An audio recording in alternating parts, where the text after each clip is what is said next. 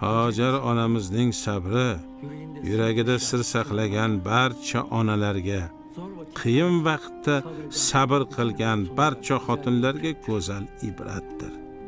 Otashlar ichra qoldirma bizni. Yuzingni ko'rsat bizga. Sirlar kitobini qayerdaligini bizga ma'lum qil.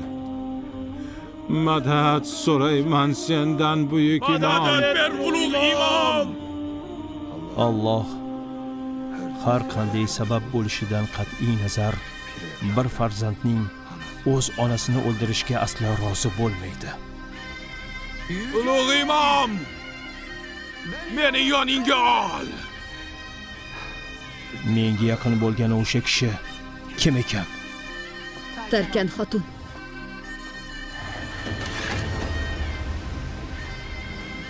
qo'lga tushding hasan sabbax